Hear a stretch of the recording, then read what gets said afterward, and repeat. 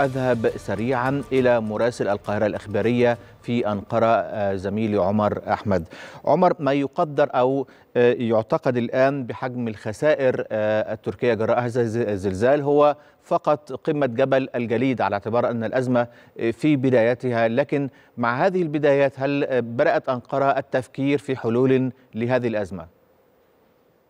في الحقيقة أحمد لم تفكر أنقرة بعد أو على الأقل لم تصرح بهذا الأمر ولا يعتقد أن تفكر بهذا الأمر حتى بعد الانتخابات حقيقة لأن الإدارة الاقتصادية في البلاد كانت تطبق برنامجا برنامجا اقتصاديا موجه باتجاه الانتخابات فما بعد الانتخابات كله سيكون مختلف تماما عما قبل الانتخابات.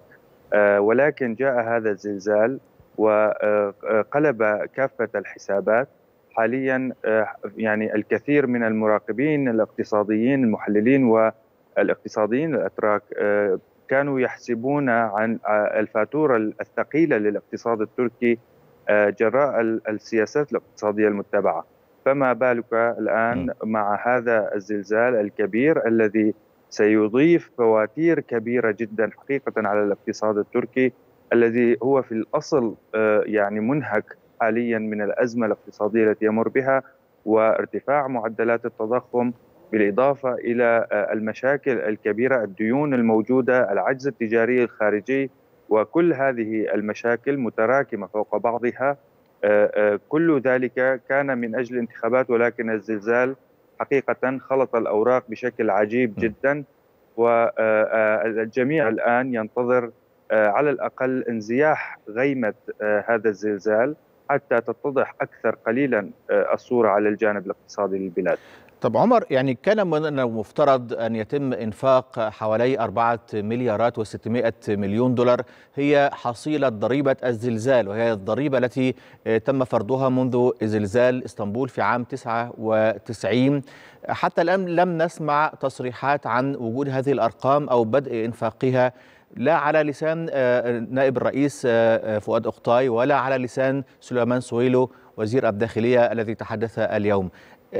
إذا المعارضة لديها حق في أن تتساءل عن هذه المبالغ. أشكرك أحمد على هذا السؤال.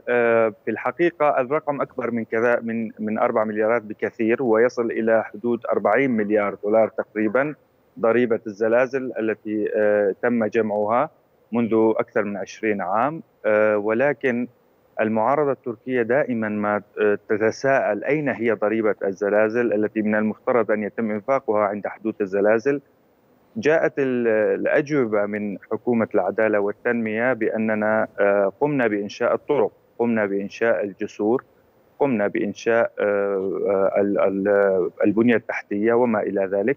وهذا يعني أن ضريبة الزلازل قد أنفقت أنفقت في أمور غير الزلازل ولم يتم ادخارها أو وضعها تحت خدمة متضرري الزلازل.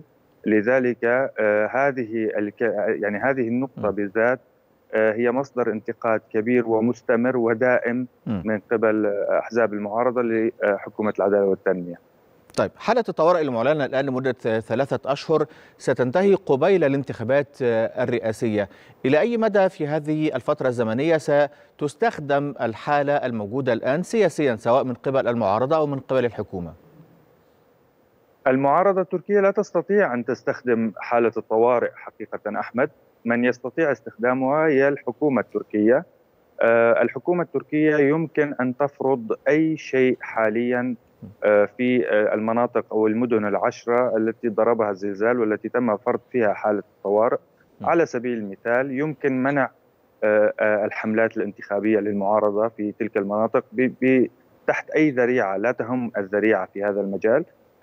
يمكن منعها يمكن استخدام يعني القوة بعملية مصادرة الحريات كل ما يمكن كل ما تريده السلطة يمكنها أن تفعله دون الرجوع إلى البرلمان ودون سؤال أي أحد ضمن حالة الطوارئ.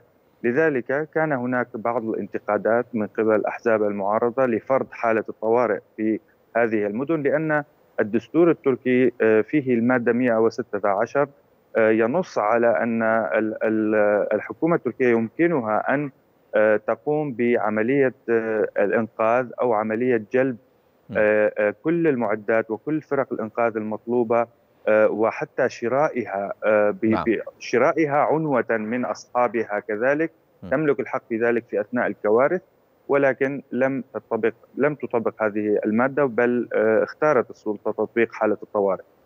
أشكرك مراسل القاهرة الإخبارية في أنقرة زميل عمر أحمد.